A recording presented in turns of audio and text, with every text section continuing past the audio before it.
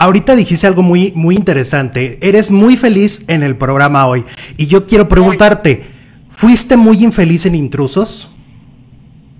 No fui infeliz, pero no me la pasé bien. O sea, me costaba trabajo estar.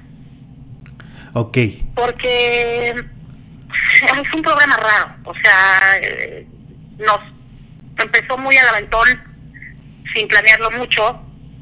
De, iba a ser de una forma y luego cambió. Y lo lanzaron como distinto como lo habíamos planeado. Entonces, bueno, empezó ahí como raro. Y en ese momento todos estábamos como en mal momentito. Entonces, juntos no, no, no estaba buena la química. No hicieron match, ¿verdad? No, nadie, nadie.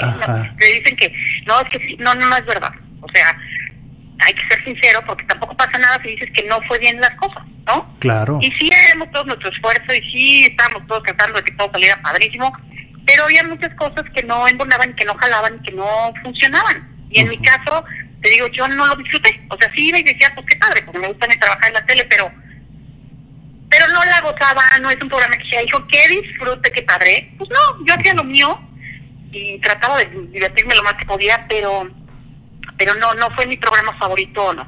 ¿Te caía mal a tal Sarmiento? No, para nada. Ok. Me cae bien. este, sentía de pronto que estaba a veces eh, fuera del concepto o que se salía un poco, pero luego dije, bueno, pues no, realmente ni hay concepto, ¿eh? aquí ya todo el mundo lo que sea, pues está bien. Pero ella me cae bien, me parece una charla interesante y me parece una estaba, este, cuando estábamos en Ventaneando hace 100 años, este, cuando se fue Pilar, la conductora de Pachapoy, yo me acuerdo haberle dicho, ¿y por qué no pruebas a tal y que se quede conductora contigo, ¿no? En medio del espectáculo. O sea, de mí salió la idea y dijo, sí, está bien, órale, hay que probarla. Claro. Son cosas que luego la gente se lo olvida o que no saben.